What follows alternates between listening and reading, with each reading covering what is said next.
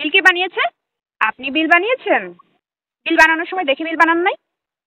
ভুল করে বসে থাকবেন? বসে বসে শুধু ভুল বিল তৈরি করেন, তাই না? আমি যত দূর পর্যন্ত আসলাম, আমার গাড়ি ভাড়াটা কে দিবে? প্রত্যেকটা মাসে এসে আমাকে বিল ঠিক করতে হয়। ঠিকঠাক মতো বিল বানাতে পারেন না? দেখেন, বিলটা দেখেন। আমি ঠিক টাইমে বিল দিয়েছি, তারপরে বিলটা উঠে আসছে। কেন বিল উঠে আসলো? কেন আসলো? এটা কি দেখছেন? দশ টাকা বিল আসছে, দশ টাকা দশ টাকা বিল দেবো। এর এক টাকাও বেশি বিল দিতে পারব না। কিসের ভুল কিসের ভুল হ্যাঁ? আপনারা ভুল করবেন, সেটা খেসরে আমাদেরকে দিতে হবে? কেন? আমার তো মিটারই চলে না। তারপরে বিল আসলে কেমনে? পাশের বাড়ির আর আমাদের বাড়ির সব কিছু সেম সেম তারপরও বিল কেন ডিফারেন্ট আমার বিল বেশি কেন? আসসালামু আলাইকুম, সবাই কেমন আছেন? আশা করি সবাই অনেক ভালো আছেন। আমাকে যারা যারা পছন্দ করেন, আজকের ভিডিওটি দেখার পর হয়তো বা অনেকেই অপছন্দ করবেন। কারণ আমি যে প্রফেশনে আছি, এই প্রফেশনের লোকজনদেরকে কেউই তেমন পছন্দ করে না। তবে আমি যে জিনিসগুলো আপনাদের সাথে শেয়ার করব, এইগুলো আপনাদেরকে জানতে হবে। কারণ আপনি যখন এই ব্যাপারগুলো জানতে পারবেন, তখন দেখা যাচ্ছে আপনি পরবর্তীতে একটু হলেও উপকৃত হবেন।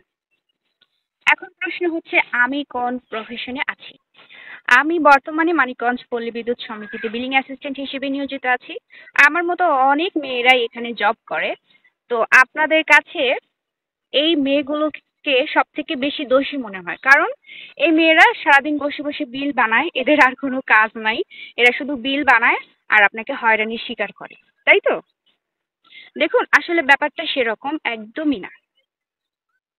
ভুল হতেই পারে, প্রত্যেকটা মানুষেরই ভুল হয়, তবে ভুলের কিছু একটা সীমাবদ্ধতা থাকে। আর এক একটা ভুল এক এক ধরনের, কিছু কিছু ভুল আছে ম্যানুয়ালি হয়, আবার কিছু কিছু ভুল আছে সিস্টেমের কারণে হয়। তো এই ব্যাপারগুলো না আপনাদেরকে জানতে হবে। আর তাহলেই আপনি একটা জায়গায় গিয়ে সুষ্ঠু একটা সমাধান পাবেন। আপনি যদি কোথাও গিয়ে শুরুতেই চিল্লাচিল্লি করেন, তাহলে সেটা রেজাল্টও কিন্তু চিল্লাচিল্লি দিয়েই শেষ হবে। গ্রাহক হিসেবে কিন্তু আপনারও কিছু দায়িত্ব আছে। সেগুলো কিন্তু আপনাকে মনে রাখতে হবে। আপনার বাসায় যে মিটারটি থাকে, সেই মিটারটি কিন্তু সম্পূর্ণ আপনার হেফাজতে থাকে। তো এই কারণে মিটার রক্ষণাবেক্ষণ করার দায়িত্ব কিন্তু আপনার। তো মিটারটি ঠিকমতো ঘুরছে কিনা, মিটার রিডিং সঠিক আছে কিনা, বিলের পেপারের সাথে মিলিয়ে দেখার দায়িত্ব কিন্তু আপনার। তো বিল পাওয়ার সাথে সাথে বিলের অ্যামাউন্ট দেখে হাইপার হয়ে যাবেন না। রিডিংয়ের সাথে মিলিয়ে দেখুন, আপনার রিডিং সঠিক আছে কিনা, আপনার ব্যবহার অনুযায়ী রিডিং আসছে কিনা। এটা খেয়াল করুন।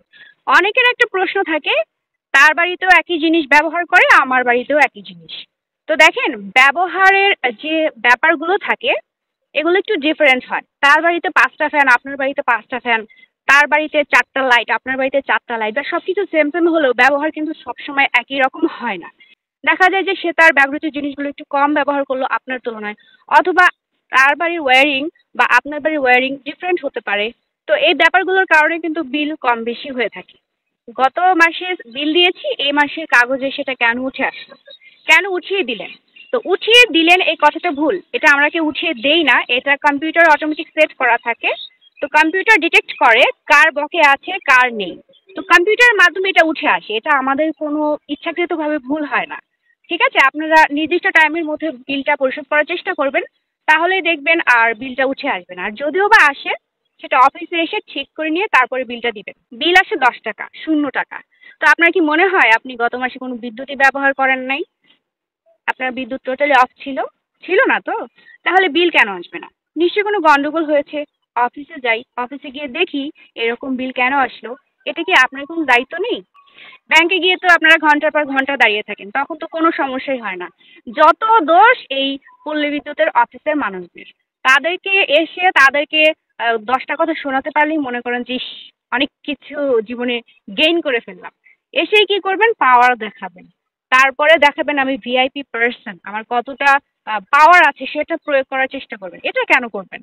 অফিসে এসে অফিসিয়ালি কথা বলবেন। অফিসিয়ালি আপনি সেই প্রবলেমটা সলভ করার চেষ্টা করবেন। সেটা না করে কি করেন?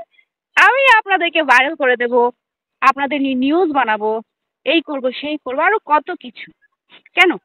এটা সরকারি টাকা। সরকারি টাকা আপনাদেরকে দিতে হবে। এটা তো আপনি বেশিও দিচ্ছেন না, কমও দিচ্ছেন না। আপনি যেটা কনজিউম করছেন, সেই পরিমাণ অর্থ আপনি সরকারকে দিচ্ছেন। হ্যাঁ এটা ঠিক যে রেট বাড়ানো হয়েছে, কিন্তু তাই বলে আপনাকে ধোকা দিয়ে বেশি পরিমাণে অর্থ আদায় করবে এরকম কিন্তু না। তো যারা যারা এসেই বলেন, আপনারা বসে বসে বিল বানান, চোখে দেখেন না, অযোগ্য লোক। তো তাদেরকে উদ্দেশ্য করে বলছি, দেখেন, বিল কিন্তু বসে বসে বানাতে হবে। দাঁড়িয়ে দাঁড়িয়ে বিল বানানো যাবে না। আর তাছাড়া অযোগ্যের যে কথাটা আপনারা বলেন, প্রত্যেকটা মানুষই কিন্তু তার নিজ নিজ জায়গা থেকে চেষ্টা করে। গ্রাহক হিসেবে আপনাদেরও কিছু দায়িত্ব থেকে যায়।